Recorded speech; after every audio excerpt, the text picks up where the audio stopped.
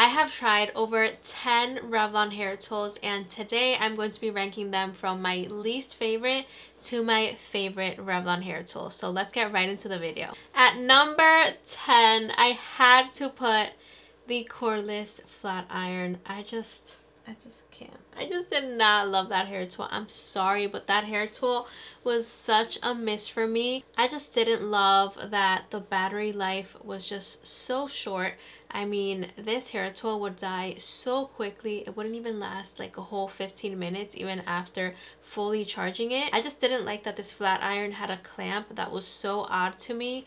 I just feel like the plates didn't press down enough because of the clamp so it was just very hard to use the plates and the hair tool was just so tiny so it would take me forever to straighten my hair with that hair tool and it was just a big miss for me. I just did not like it.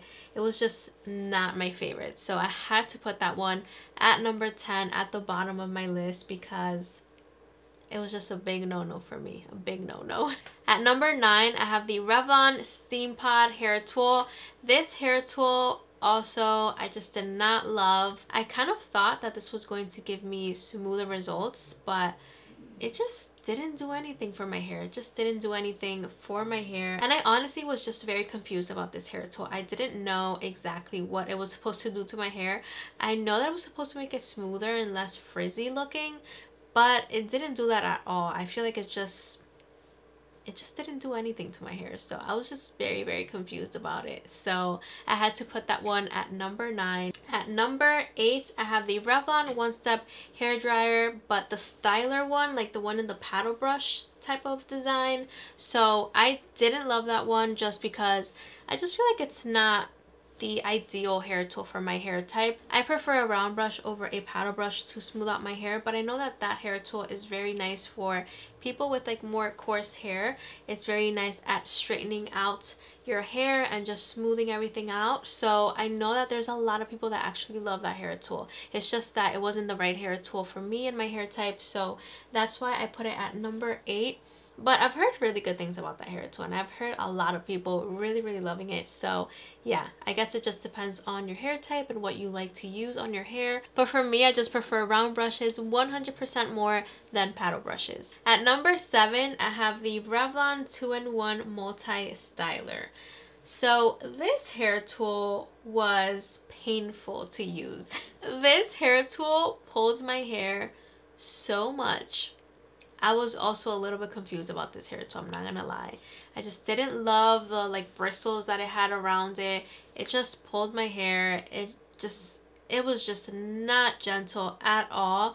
As a straightener, it wasn't bad, but once you tried to use it as like a curling iron type of hair tool or like a curling hair tool, it was just not the easiest to use and it was not the most gentle hair tool to use on your hair for curls. Like i would have preferred a curling iron or just even like a regular straightener to straighten my hair. I would have preferred that over this hair tool. So yeah I did not love that. If you are looking for a Revlon straightener though, they do have one that is very, very nice. So I'm going to link that one down below and I'm going to put some videos up here so you guys can see what I'm talking about. I actually compared that straightener to a GHD straightener, which is like $250.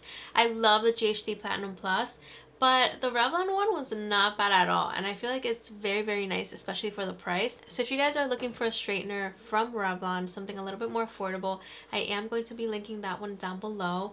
I actually forgot to put that one in the list but it is a hair tool that I think is more like at the top of my list like one of my favorite Revlon hair tools but yeah unfortunately i forgot to put on the list but it is a very nice hair tool it's not my number one like it's not like my favorite not even like top three favorite but it is a very nice straightener at number six i have the revlon mix curler like the adjustable two-in-one curling wand i just didn't love that one too much because I just would have preferred maybe like the Conair ones. I'm going to put a video up here.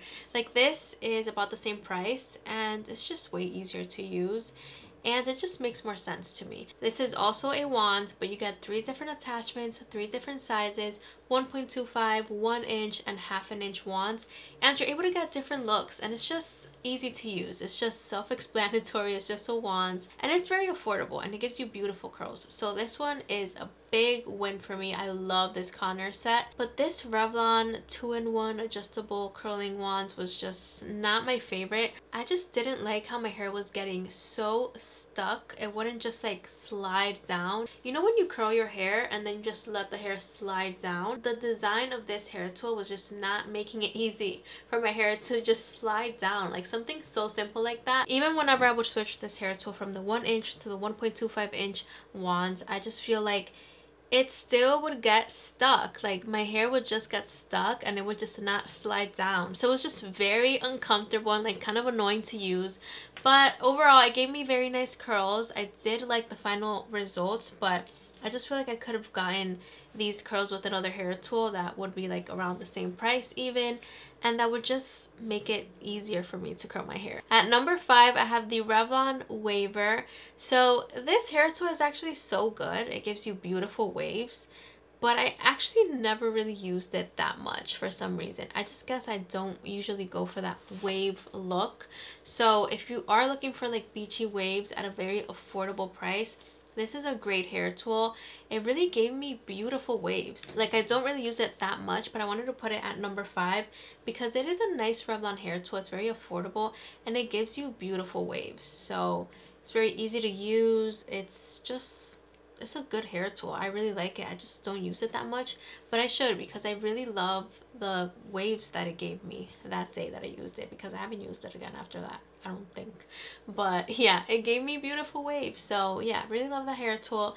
And again, it's very affordable. So yeah. At number four, I have the Revlon Root Booster.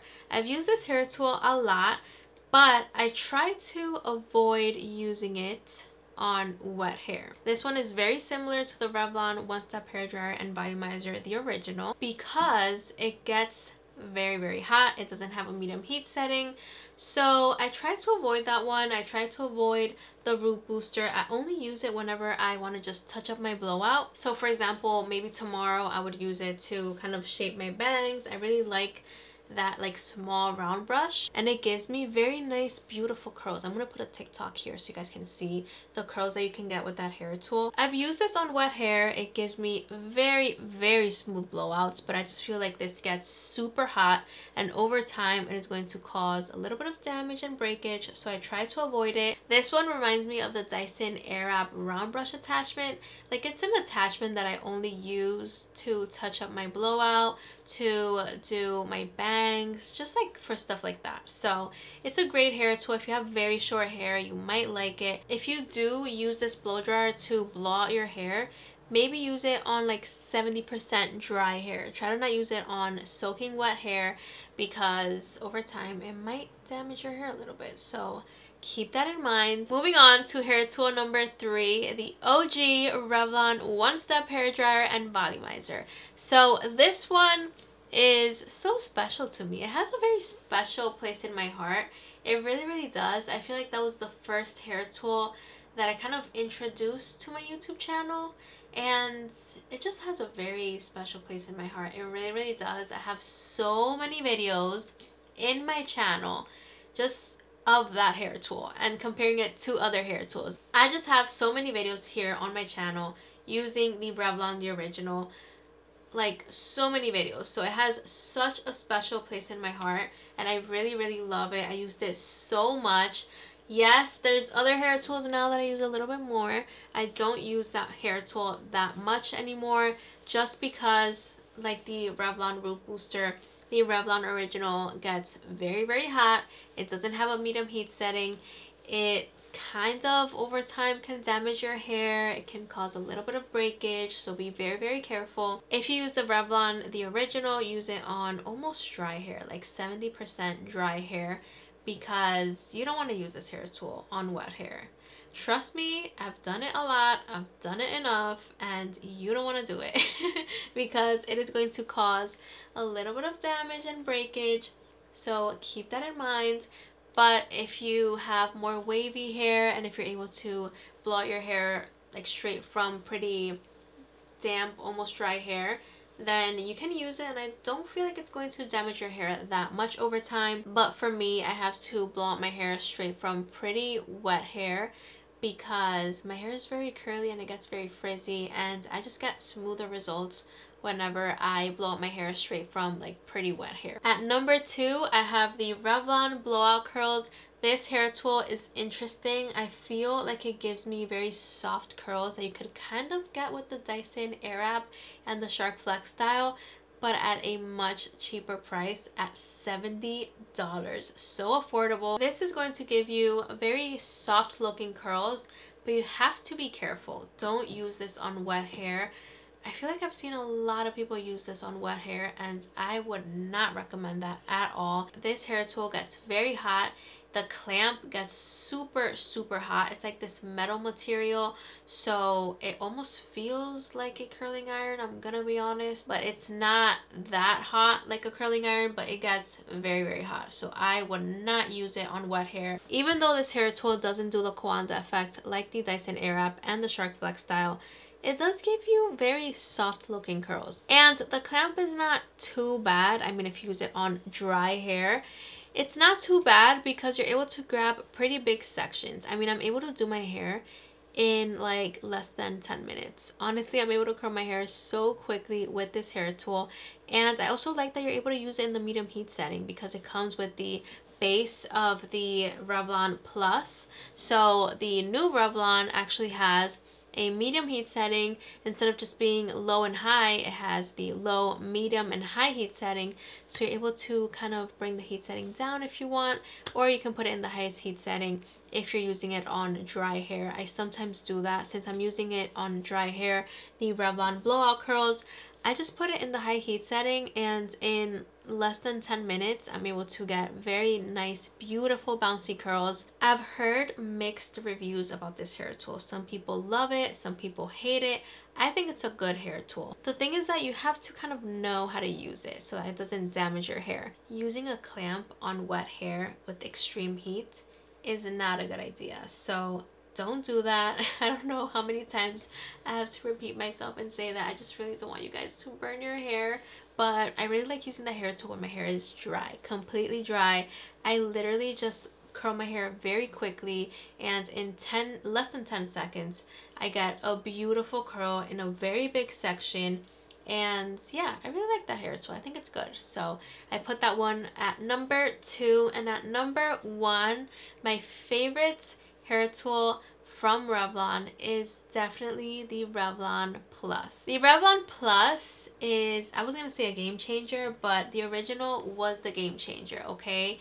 The original really changed everything for so many people. Like it really changed how I just started doing my hair. So yeah, I have a special place in my heart for the original, but the Plus is better. I mean, they just made the original better. So I'm okay with that. I love that. Number one, I love that the round brush is a little bit smaller than the Revlon the original. So you're able to get closer to the roots. You're able to get a bouncier look and it's just better for shorter hair as well so if you have shorter hair you're gonna like that round brush more than the original number two it's detachable so it's easier to store the only thing is that how is revlon going to make a hair tool detachable and then come out with another hair tool, the Revlon Blowout Curls, that is also detachable and is compatible to the base of the Revlon Plus, but not sell the attachments separately.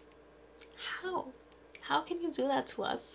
So if you already have the Revlon Plus and you love it and you want to add something to it, you want to add the blowout curls attachment, you can't do that. You have to buy the entire hair tool that is $70 and you're stuck with two of the same bases. So that is a little bit ridiculous to me. I'm sorry. I mean, I just wish that they were available to buy separately because so many people would buy it I feel but I get it I know that their hair tools are already so affordable so much cheaper than other hair tools on the market and selling the attachments separately for maybe like 20 30 dollars may not be as profitable than only selling the whole thing at 70 bucks. So I get it I get it but like come on. But anyways I also love that the Revlon Plus also has a medium heat setting which is so nice.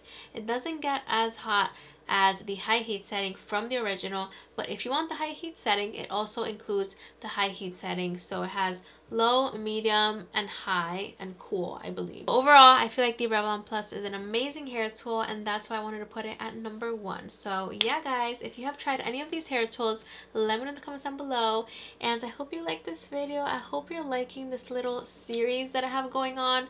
If you do, please give this video a big thumbs up and subscribe so that you don't miss the next one that I have that is of the GHD brands. So that one's coming right after this one. I have tried so many GHD hair tools. I think I have a list of seven hair tools. So I'm going to be ranking them from my least favorite to my favorite hair tool. So yeah, stay tuned, subscribe, and I'll see you guys in my next video. I love you guys so much. Mwah. Bye-bye.